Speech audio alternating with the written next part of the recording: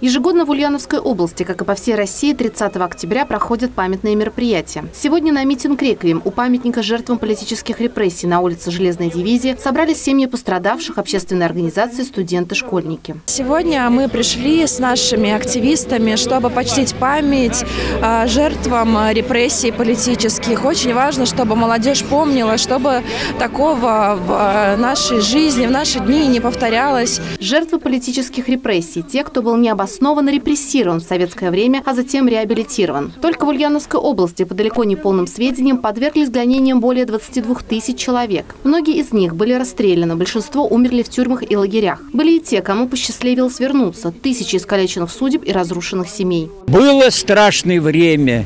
В стране очень серьезное и страшное время, когда у нас по плану, утвержденному в Москве, расстреливали людей и наказывали другими видами наказаний, как в концлагере и, или ссылка в отдаленные районы страны.